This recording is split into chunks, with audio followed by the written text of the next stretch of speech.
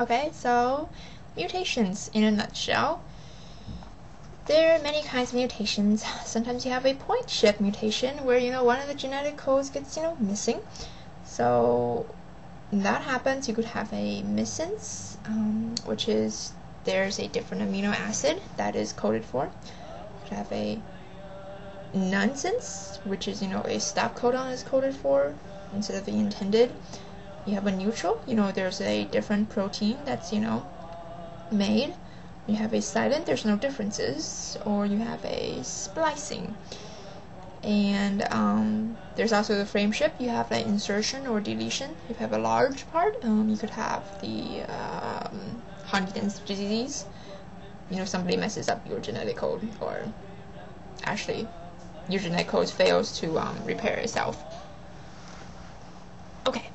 So now with mutations, you have to know that they're mutagens.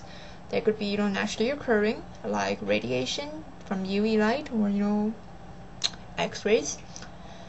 You could have um, virus, you know, the HIV or the HSV. You could like aflatoxins, or you could have um, transposons, and then of course you have man-made, you know, like benzopyrenes, um, in grilled meat, that kind of thing. So Along with that, you have repairs when there are mutations. Basically, mutations are the failure of repairing. There are six things that you need to know. Um, the synonym I would like to remember is the uh,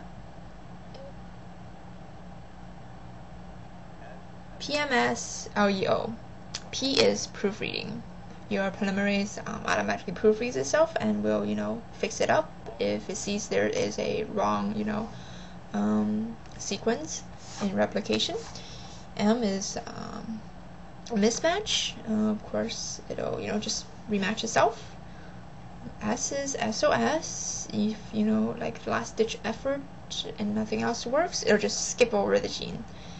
And uh, L is light repair. So basically, if your body is damaged from UV light, you have thymine dimers. And if that happens, then your body will just come and uh, when there's light, it just like fix itself up.